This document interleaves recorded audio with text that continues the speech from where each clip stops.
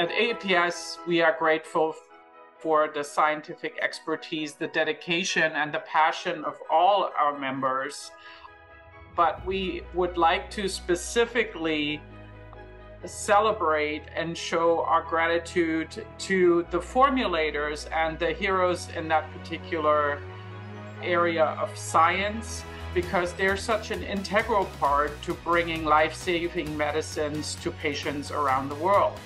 And today we really would like to highlight some of these examples of our AAPS members who work in this field, who are many, and tell a little bit of the story of how key the formulation process is to life-saving drug development.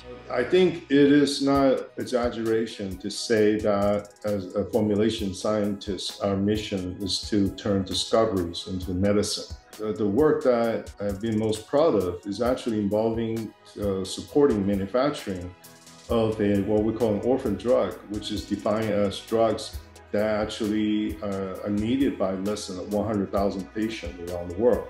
So it's only for the very few, but those for those few patients, the, the, the medication is depending on it for survival. And many of these patients have genetic disorder. And so without the medication, they will not live long.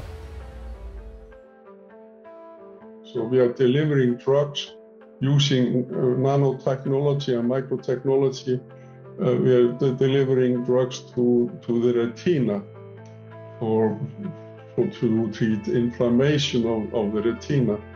And we have been very successful there. And this is just a formulation technique. We have used the same drug as people have been using, uh, have been injecting into the eye.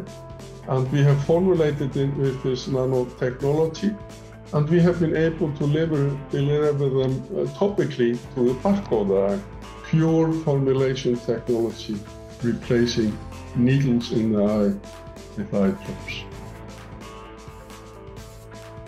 So we are formulating scaffolds which have good cell adhesion characteristics. They can release agents that promote tissue formation and these scaffoldings are made out of polymers that are very porous. And so when cells are migrating through them, which can come from the patient, they proliferate and divide throughout that matrix. And as the matrix is being populated by those cells, the drugs are being released to help the cells convert into the cell types that we're interested in. The scaffold itself is dissolving away over time. You're left with just the tissue that can be then transplanted into a patient.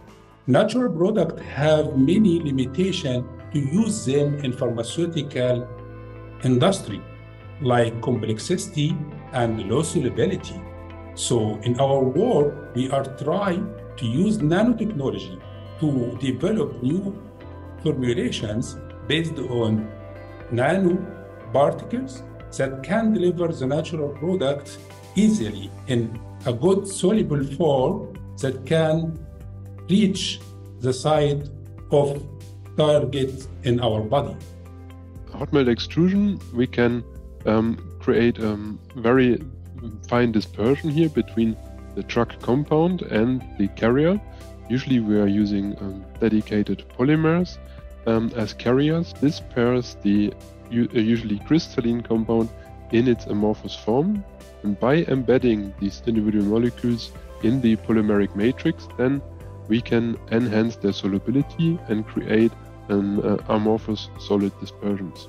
But the ones that I'm really excited about is that the ones that actually um, you see have an impact on patients. Um, my cousin passed away from um, lymphoma, and one of the products that we worked on, bendamustine, is the one that I worked on and it's used for to treat lymphomas. To be able to say that you work on a product that can potentially be helpful and treat cancer patients is very gratifying. Boston's a case study where essentially we took a, a compound that had been that had been into first in human into a single ascending dose with a different company and it had failed due to poor exposure. We we took the compound, we reformulated it, we tested three different uh, enhanced formulation technologies. We tested them in one clinical study, selected the best formulation, and then was able to dose escalate to give us safety margins to progress to a multiple ascending dose. So, formulation is key, definitely. The pediatric patients constitute over 80% of total malaria patients. Many of these uh, endemic countries are in high temperature, high humidity regions in the world. And so what we develop usually are, you know, oral solid dosage forms that are either hot tablets or disposable forms that can be reconstituted at point of administration to the patients. At AAPS, we are extremely grateful to our formulator members who are making such a big difference to get life saving medicines to patients around the world.